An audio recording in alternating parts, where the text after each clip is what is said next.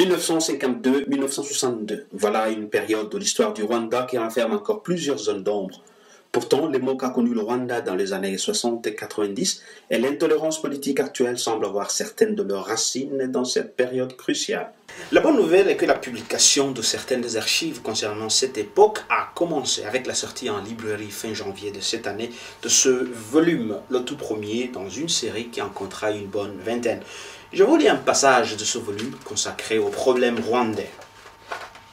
Certaines personnes peu ou mal informées répètent ou écrivent volontiers que les Batutsi venus dans le pays en conquérant ont spolié les Bahutus de leurs biens et les ont maintenus à un rang inférieur. Une telle affirmation relève d'une tendance à ne voir que le mauvais côté des choses. Ceux qui la formulent perdent de vue que certaines lacunes de l'organisation politique et sociale des Batutsi étaient compensées par l'assurance qu'avaient leurs serviteurs de jouir de la protection de leur maître.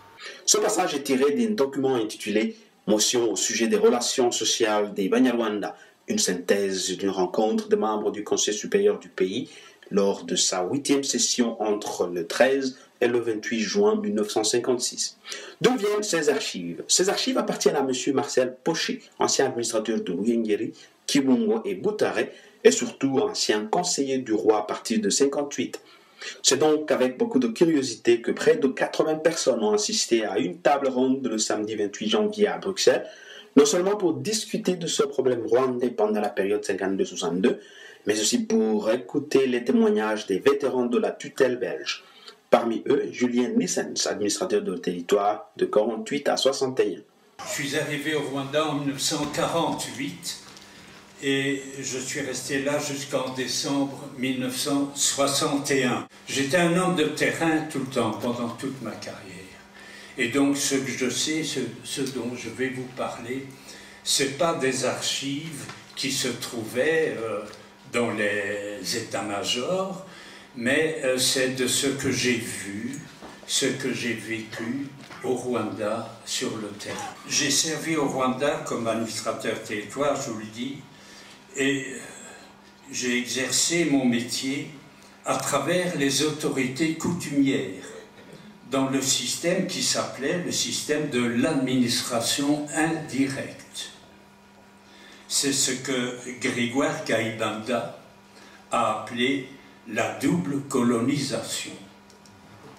Oui, la double, il a écrit et il n'a pas eu tort de l'écrire, de lire, et je pense comme lui. Je ne le savais pas à ce moment-là qu'on pouvait, on pouvait donner ces termes-là, mais c'est la réalité aussi.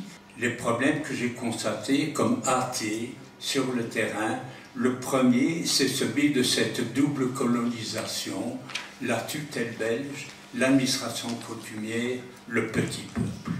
Il y avait aussi la densité de la population. 400 habitants au kilomètre carré. Cette densité a engendré une concurrence entre la vache et la houe, entre les éleveurs et les agriculteurs, entre les Chebouja et les Abagaragou. Une question se pose néanmoins quant à l'accessibilité de ces documents. Ni Poché, ni l'éditeur, ni personne n'a voulu commenter ces archives. En d'autres termes, qui est Mungalurire Qui est Ganakweli c'est quoi le Conseil supérieur du pays? Pourquoi est-ce important de lire les motions et les mises au point de ce Conseil? Pour les chercheurs, cela ne pose aucun problème, mais pour les novices du dossier rwandais, ces archives semblent hors de portée. Vous avez écrit dans l'avant-propos que vous avez fait un choix délibéré de ne pas commenter les archives. Euh, pourquoi ce choix? Parce que je n'ai pas à commenter, je, ne voulais pas écrire moi-même sur les choses, sur l'histoire. Hein, je voulais la livrer brute comme ça, et tant pis que les gens se débrouillent. Les documents sont bruts, ils ne sont pas commentés. Est-ce que c'est pas, ah, c'est pas dangereux de lancer des documents bruts sans interprétation, sans contexte, comme ça dans, ah, dans la nature?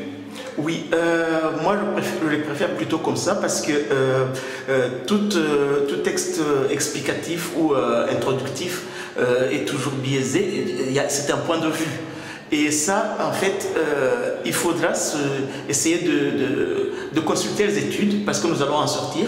Il y a un livre de Julien Missens qui, est, euh, qui était attaché territorial en même temps que M. Pochet. Et puis, euh, il y a aussi une étude historique qui est, qui est présentée par M. Tsengimana, Innocent, qui va aussi sortir avant la fin mars. Ces pièces, quoique brutes, relancent tout de même les débats sur les relations entre les Hutus et les Tutsis pendant les dernières années de la tutelle belge. Par exemple, les documents intitulés Les inquiétudes des Bahutus, questions et vœux, ou encore celui intitulé Ce qui peine les enfants de Gahutu résument les griefs des émancipationnistes Hutus.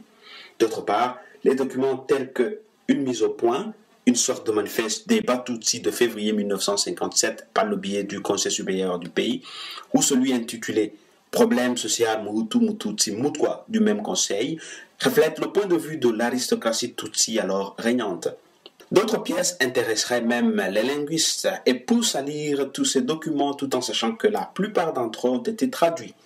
Traduire du Kinyarwanda, une langue à subtilité multiple, suppose des trahisons ici et là par rapport au débat conduit en Kinyarwanda.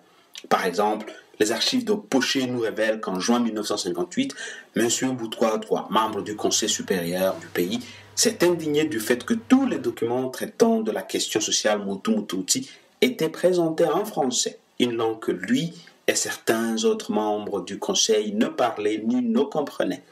Ces archives vont relancer les recherches sur cette décennie cruciale dont l'histoire divise et semble souvent mal comprise.